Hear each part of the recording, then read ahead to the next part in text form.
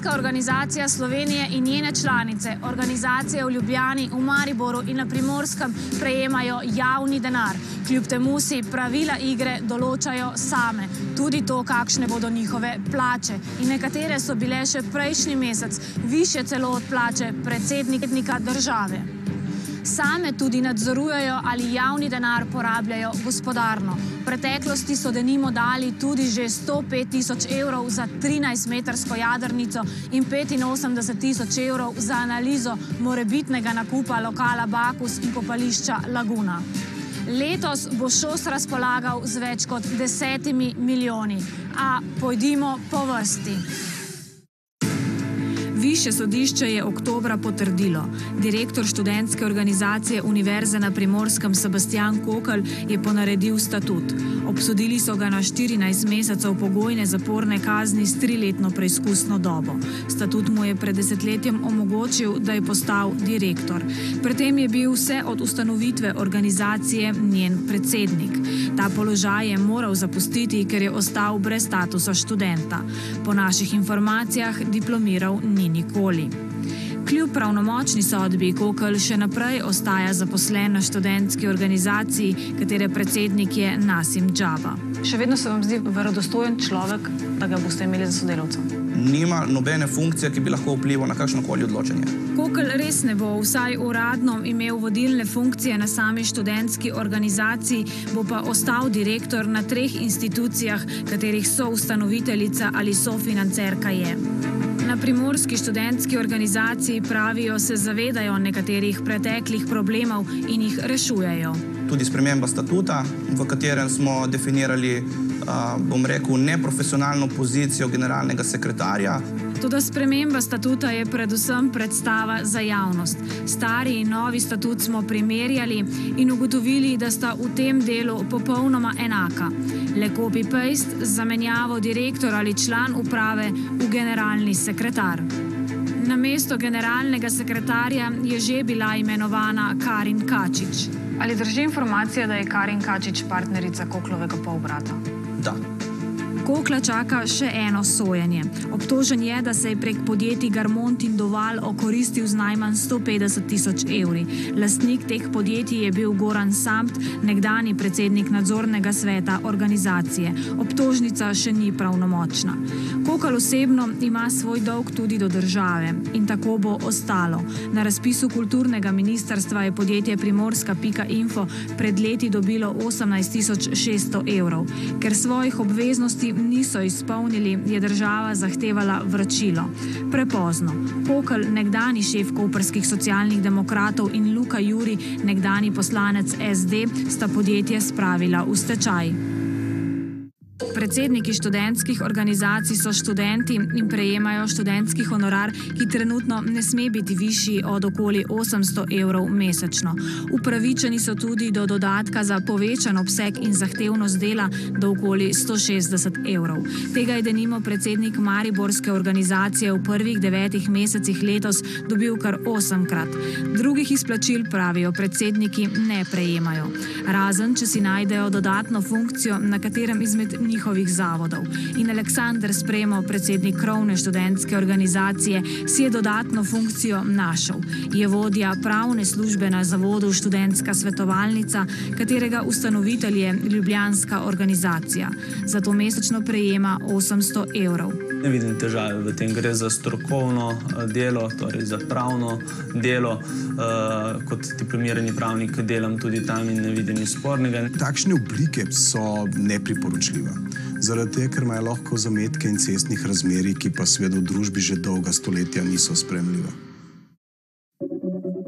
Poleg predsednika imajo študentske organizacije tudi direktorje ali generalne sekretarje, ki so zaposleni in nekateri imajo takšne plače, da. Ostajam brez besed. Direktor študentske organizacije Univerze v Mariboru Drago Žura je do oktobra mesečno prejemal 6850 evrov bruto, kar je za 1400 evrov več kot je izhodiščna plača javnega uslužbenca v najvišjem plačnem razredu, kamor denimo sodijo predsednik države, vlade ali ustavnega sodišča. Bi moral imeti predsednik države višjo plačo. Pet dni po našem pogovoru je Žura sporočil, da se je njegova plača znižala na 4840 evrov bruto. 47-letni Žura je na direktorskem položaju že peti mandat, 19 let. Tudi Kokal je bil v vodstvu 13 let, direktor ljubljanske organizacije Andrej Klasinc pa je marca začel drugi mandat, njegova plača 5220 evrov bruto. Predsednik krovne študentske organizacije poudarja, imenovali so jih študentski organi, očitno uživajo njihovo zaupanje. Toda, Vse velike mednarodne organizacije govorijo pred, pred tezah, da je demokratično število mandatov omejiti. ali študentske organizacije delajo v vašo korist, torej v korist študentov? Um, kar se tiče tako rekel, prostočasnih dejavnosti, zabav in tega, mislim, da drugače pa ne vem. vsekakor na nek način pomagajo, ne? Kakšne informacije ali pa ne vem, če rabiš bone, pa te zadeve, ne? to vse se organizira prek študentskih organizacij. Edino zabave je bila, bila malo boljše. No? Verjetno razpolagajo z denarjem pač na svoj način in ta je pred nami skrit. Študentska organizacija Slovenije bo letos od države predvidoma dobila 10,7 milijona evrov ali drugače 3,8 odstotka od študentskega dela plus dodatek neposredno iz proračuna. V skladu s študentsko ustavo bo šosu ostalo 536 tisoč, ljubljanski organizaciji 3,6 milijona, mariborski 2,2 milijona in primorski slabih 700 tisoč evrov. 3,4 milijona bodo letos skupno dobili študentski klubi, Zveza Škis pa slabih 215 tisoč. Veliko denarja, ki pa se po mnenju študentskega društva Iskra troši negospodarno. imamo to splošno odtujenost študentskih organizacij od študentske populacije. Gre, gre za zelo um, mehen krog ljudi, ki odločitve sprejema netransparentno in nedemokratično, ponavadi pač čist uh, glede osebnih, zaradi osebnih motivov. Kakšne osebne motive, če je imel direktor ljubljanske organizacije Andrej Klasinc pri študentskem kampusu, ki je največja investicija v zgodovini organizacije? Kakšne, če pri zaposlitvi Bojana Kureža, nekdanjega člana predsedstva študentske organizacije Slovenije, na mesto direktorja študentskega kampusa? Ne vemo, saj se v treh tednih z nami ni hotel srečati. Zato se vrnimo v leto 2015.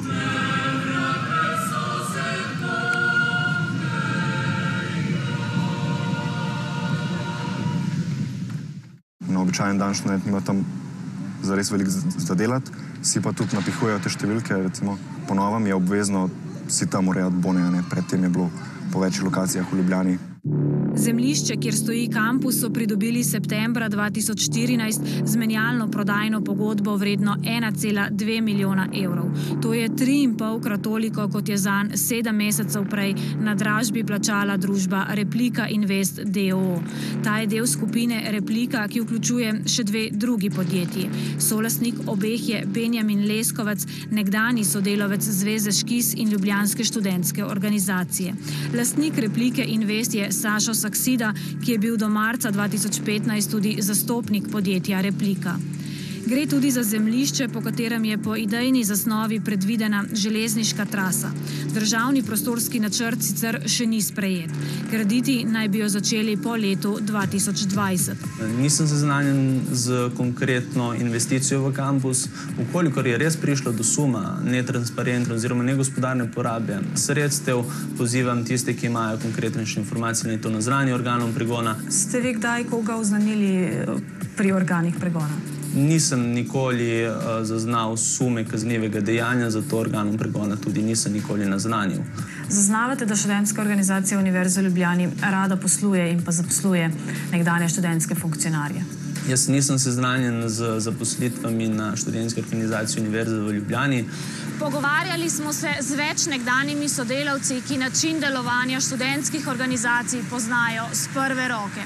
Opozarjajo, da sistem omogoča, da nekateri že vrsto let na različne načine živijo od študentskega denarja. Pred kamero niso hoteli, ker se bojijo maščevanja ali pa ker se ne želijo več izpostavljati. Eden je pristal, da pogovor posnamemo, a zakrijemo njegovo identiteto. Zavodi so podaljšana roka nekakšne študentske organizacije, preko katerih je veliko lažje dobiti ven določena sredstva, pristopa študentski kampus. Zelo, zelo težko karkoli uh, spremenjati, ker je zelo zakorenjeno in ker so v zadnji ljudje, ki še vedno peljejo to. Nekateri ljudje so tukaj zadnji tudi več deset let. Ljudje imajo svoje neka podjetja in potem v bistvu najemajo in se pač tako vrti ta denar. Za računa, ne vem, če smo čisto konkretni, 10 tisoč evrov, ok, ti dobiš 8 tisoč evrov, meni daš pa 2 tisoč evrov. Ne. Je bilo takih poslov veliko? Ja, pa še vedno so. To je zelo težko dokazati. Tu pogodbe kot take so, dogodki so izvedeni, pa cena je toliko višja in gre potem to v že. Bi lahko študentske organizacije funkcionirale z veliko manj denarja in da bi lahko ta preostanek denarja dali ali v štipendije ali v domove, lahko rečem, da vsaj s polovico. Ali študentske organizacije delajo v korist študentov? Um, ne vem, pojma nimam. Nimam pojma, nisem dosti seznanjen na tem, sorry. Naprej, prepletenost s politiko, kroženje kadrov. 22-letni Klemen Peran, trenutni predsednik Ljubljanske študentske organizacije, je iz stranke SD denimo izstopil dva meseca in pol, preden je začel svoj predsedniški mandat. Leta 2014 je na listi SD-ja kandidiral za mestnega svetnika v Mariboru. Še več primerov med zdaj že nekdanjimi študentskimi funkcionarji. Nekdani predsednik Šosa Mitja Urbanc je trenutno vodja kabineta ministrice za izobraževanje. Nekdani predsednik Ljubljanskega študentskega zbora Roh Hodej je svetovalec premijeja Cerarja za odnose z mediji. Nekdani svetovalec predsedstva Ljubljanske organizacije Nejc Brezovar je državni sekretar na Ministrstvu za javno upravo in član izvršnega odbora SMC. Nekdani predsednik Ljubljanske organizacije organizacije Jrnej Štromajer je strokovni sodelavec poslanske skupine SD. Nekdani predsednik Zveze Škis Izidor Šakar Kamal je poslanec SMC-ja. To je vedno poligon, kjer so tudi politični in razno razni interesi. Tako da jaz mislim, da tu vedno afere bojo, mi nikoli ne bomo lepi. Ali torej študentski funkcionarji res zastopajo interese študentov, kar bi morala biti njihova primarna naloga? Glasno nasprotujejo ministrom ali rektorjem, ko ti sprejemajo ukrepe na škodo študentov, ali po drugi strani predvsem delujejo zase in tako, da si odpirajo vrata za vstop v politiko ali sodelovanje z javnim sektorjem. In zakaj država vse to že leta dopušča? Vsi se strinjajo na načelni ravni, da so spremembe potrebne, a v praksi se zapleta. Tudi letos poleti predlagane spremembe niso prestale niti medresorskega usklajevanja. Kjer pa imamo trd oreh, pa je, kako oblikovati osebo javnega prava, ki bo na eni strani še vedno ohranila to suverenost in samostojnost, na drugi strani pa bila podvržena vsem tem postopkom, od transparentnosti naprej do načina financiranja, do skrbi do tega, da je seveda vsako namensko sredstvo tudi upravičeno in prav potrošeno. Ampak s tem vprašanjem se, se ukvarjamo že mesece, da ne rečem celo leta. No, ukvarjali so se ne vem koliko prej, kdo že, to težko no, povem. Računsko sodišče opozarja na to, Računsko sodišče že nekaj časa že opozarja. Mislim pa, da smo prvič na tem ministrstvu resnično sedli skupaj, študentsko organizacijo in se približujemo najbolj pravšnji rešitvi za vse. Prav nadzor je ključen. A za študentske organizacije je nesprejemljivo že, če bi naprimer v desetčlanski komisiji sedela dva predstavnika vlade. Absolutno ne. Nov predlog zakona naj bi šel v javno razpravo še ta mesec. Kaj bo v njem pisalo in kdo vse bo na to imel vpliv? Študentska organizacija Slovenije je v preteklosti za pomoč pri komuniciranju svojih zakonskih predlogov že poiskala zunanje svetovalce. Od maja do novembra je sodelovala s podjetjem Neurovirtu, katerega lasnik je Sebastian Jeretič, ki je bil vodja kampanje stranke SD pred parlamentarnimi volitvami 2008, tudi kampanje Petra Bosmana pred lokalnimi volitvami 2010, zdaj pa je redno zaposlen na koperski občini kot svetovalec župana Borisa Popoviča zaenkrat pa sodelovanja z področja zakona skupnosti študentov ni. Načrtujete pa sodelovanje tudi na tem? Ne vem, stvar je odločitve, če se nam bo to zdelo potrebno. Koliko nekega pogojevanja, neformalnega prepričevanja se dogaja za zaprtimi vrati? Saj, da bi jaz vedela, ni. Enakega sistema nacionalnega študentskega organiziranja, kot ga poznamo v Sloveniji, v Evropi ni. Poznamo pa organizacije, ki so prav tako kot slovenske, posredno ali neposredno financirane od države. Tako je naprimer na Hrvaškem, Polskem, Cipru, Češkem, Danskem in v Avstriji našteva Mike Day z britanske študentske organizacije. V Veliki Britaniji študentskih organizacij ne financira država, a imajo kljub temu odbor. Ta ne sprejema nobenih političnih odločitev, kaj bo organizacija počela, preverja pa, ali ta zasleduje cilje, ki si jih je postavila in ali ima svoje finance urejene. And on that body, there we have three what we call lay advisors. So they are people who are drawn from um, the public, but obviously people who have been involved in um, significant organizations, but not student organizations, uh, to give us advice and give us an extra perspective. Da vsak zunani nadzor ne pomeni nujno omejevanja avtonomije, je prepričan tudi Klemen Miklavič, nekoč član Zveze Škis, danes pa raziskovalec visokega šolstva in svetovalec za šolsko politiko. Smo neke vrste uh, unikum, kjer je nakopičenega veliko denarja. In če je nakopičenega veliko denarja, je tudi večja možnost zlorab.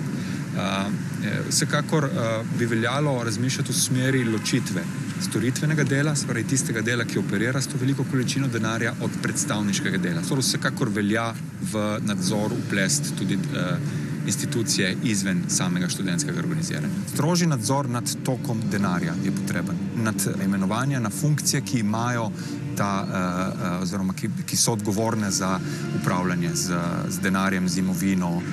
Študentske organizacije financira država in ta javni denar ni vedno porabljen v interesu študentov. Zato je sprememba zakonodaje nujna. Potreben je strožji nadzor in ta je možen, ne da bi omejili študentsko avtonomijo. Dejstva so jasna, pristojnosti tudi. Država je že tako predolgo gledala proč.